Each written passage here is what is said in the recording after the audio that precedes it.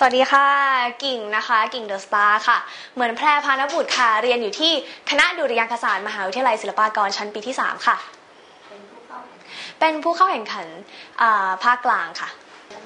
แรงบันดาลใจของกิ่งนะคะ ที่ทำให้กิ่งเข้ามาประกวดรายการ The Star นะคะ ก็เป็นคุณพ่อคุณแม่นะคะ ที่คอยแบบว่าเป็นแรงสนับสนุนให้กิ่งทำในสิ่งที่แบบที่จะช่วยให้ทุกอย่าง ให้ครอบครัวเนี่ยค่ะแบบว่าดีขึ้นให้กิ่งทำความสามารถของตัวเองอะไรเงี้ยค่ะเอานำออกมาใช้เป็นสิ่งที่ดีอะค่ะ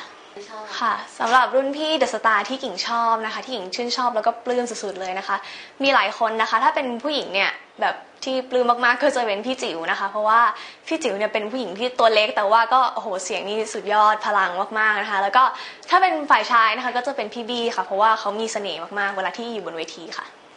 สำหรับวันนี้นะคะที่กิ่งติดหนึ่งใน 8 คนก็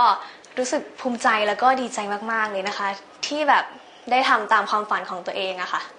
สำหรับสิ่งที่กิ่งจะต้องพัฒนาต่อไปนะคะ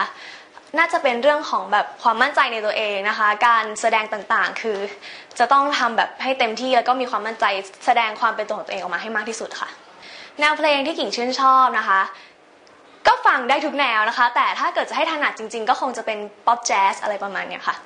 ความคาดหวังของการประกวดในครั้งนี้นะคะ กิ่งก็หวังว่าทุกๆ คนนะคะ จะชอบในสิ่งที่กิ่งทำนะคะ จะชอบในกิ่งที่สิ่งในสิ่งที่กิ่งเป็นนะคะ แล้วก็ทุกๆ เพลงที่กิ่งจะร้องออกมาเนี่ยหวังว่าทุกๆ คนจะ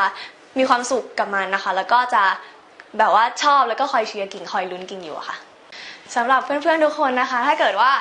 ชอบในสไตล์ที่กิ่งเป็นแบบนี้นะคะ แล้วก็ชอบเสียงเพลงที่กิ่งถ่ายทอดออกมายังไงก็ช่วยเชียร์ช่วยโหวตเป็นกำลังใจให้กิ่งได้นะคะ